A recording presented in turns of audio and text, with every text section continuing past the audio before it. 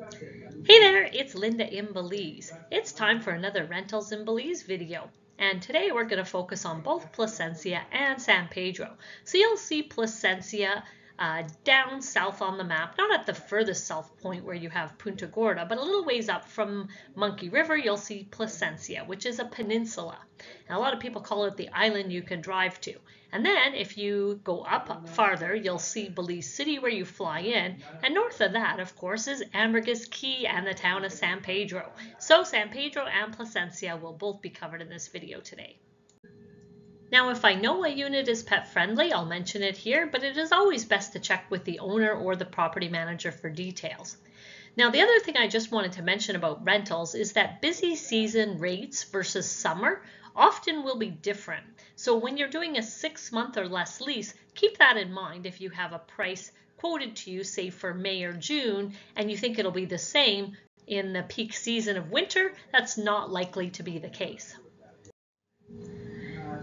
The first thing I wanted to show is a map of the Placencia Peninsula to get, give you an idea of where these different rentals will be located. So you can see on the left-hand part of the screen Placencia, and that is the Placencia village where I live now. And just north of that, there's the Placencia Airport, there's Seine Bight, which is a really uh, affordable local town. So I get my groceries there, I get gas there typically. And then if you keep going north, you see Maya Beach, which is where I used to live until I moved in, just before I moved into the village actually. And it's a really nice area too with lots of amenities, but a little more expensive than the village. And then we have Caribbean Way on the far right that you can see there, and that's a really nice expat community. Now I'm not showing any further just because it would be too small, but uh, north even farther, we do have a couple rentals, uh, one in Placencia Residences that I'm going to show, and another one in Riversdale, which is the most, most northern point of the peninsula. So the first property I want to show is the Aqua Studio. It's a main floor unit, which is available now. It's about a five minute bike ride to Placencia Village, and the rent is 600 US, including your water, sanitation, and Wi-Fi. It is just a one room cabana, but it does have a large veranda, and it is pet friendly with an extra $300 deposit. Next, we have the Mangrove apartment, which is a fairly large apartment, also available now. It's a ground floor unit and it's just moments away from the airport. Rent on this one is 1400 plus utilities and it is a one bedroom, one bath, but it also has a Murphy bed. And there is a shared pool that I'm showing there in the pictures and a shared laundry room.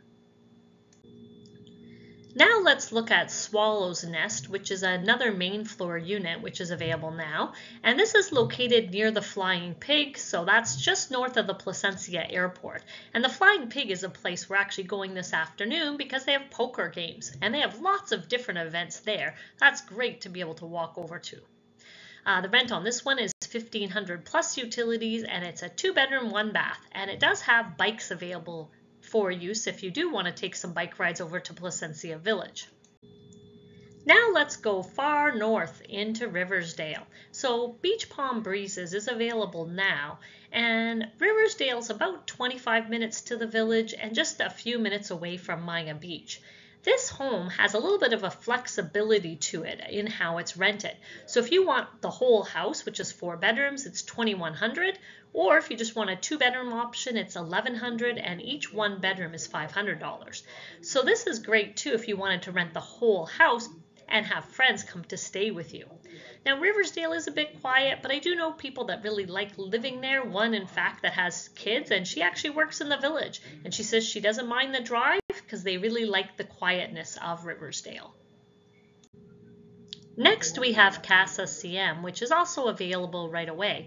And the great thing about this property is that it's located in the Placencia Residences, which is a beautiful gated community. So it's located north on the peninsula. Uh, you saw Caribbean Way there, and this is even farther north than that. And if you have a large family or you have a lot of friends coming to visit, this one is four bedrooms and four bathrooms. And you can see the pool out back there in the first picture, and it has a dock as well if you want to bring your boat down. So the rent on this one's 3500 plus utilities. And the other thing that I have to mention is the fact that you have use of the Placencia Hotel amenities. So I've stayed there, has a fantastic pool and beach, and you get to use all of those amenities because it's all one developer there for the lagoon side where this home is, as well as the hotel on the beach side. Now let's get into the San Pedro Ambergris Caye rental options. So now let's look at a map of San Pedro. So this is Google Maps here, and you can see if I drill in to San Pedro town, you can see a whole bunch of the different areas here. So the airport runway is right here, and beside there you have one of my favorite breakfast places, Pat's Deli, Ramon's Village here, and I've always lived down south here. And I'm gonna make this a bit smaller and you can see Mahogany Bay here and we have a rental that we're going to show there and going even farther south down the road you can see Playa de Sala. Now if we go farther north this is the bridge that you go over to get to Grand Caribe, the truck stop, Coco Beach Resort and then here is the road to get to Secret Beach. So I do have a property in the area of Secret Beach uh, so that kind of gives you an idea of where it is. And the island goes a lot farther. Here as well, there are some really far north places like Sapphire Beach Resort, but we're not having any rentals up there now. I just wanted to give you a view of what the island looks like. So the first option in San Pedro is the Purple House, and this is a ground floor unit, and it's located south near the gas station. So it's available December 1st on a one-year lease, and the rent is 600 US plus utilities. So it's one bedroom, one bathroom, and it's very walkable to many amenities. If you've bought a lot at Secret Beach and are going to be building, you may want to rent close by. So this home is a two bedroom, one bath, and it's available October 2023. So it's about an eight minute trip to the beach and of course, the only utility to pay is internet because the homes are off grid at the, in the Secret Beach area. So this one requires a six month lease and the rent is 1100 US and no pets are allowed in this one. Now, if you've watched a lot of my videos, you'll know Grand Baymen is one of my favorite properties. I lived in this unit for about a month in January, and the reason I love it is the great swimming pool, water aerobics, the great bar and restaurant on site, and it is a ground floor unit available mid-January 2024. This one, of course, does have the big community pool and it also has a gym. And a lot of people buy the membership there, but if you're renting there, then of course it's included. So the rent on this one's 1100 plus utilities and it is pet friendly for small dogs, which are $75 extra per month. Now, if you're interested in a gated community in San Pedro, Mahogany Bay Village may be for you. So my larger home with one bedroom and loft is available starting November 8th, and it does include laundry and a dishwasher. There is a plunge pool shared between the two units, and the larger unit rents for $16.50 a month plus utilities. And if you have a trained, well-behaved pet, that's $75 per month for the pet fee. And the smaller unit is also available on a short-term basis for rent. So I do rent it if you have friends and family coming to stay for a thousand a month additional plus utilities. And I do use that unit myself when I come to San Pedro. I hope this video has helped and if you are interested in any of these properties please send me an email with the specific property you're interested in. In addition to this I often have properties I know of that are available for shorter time frames.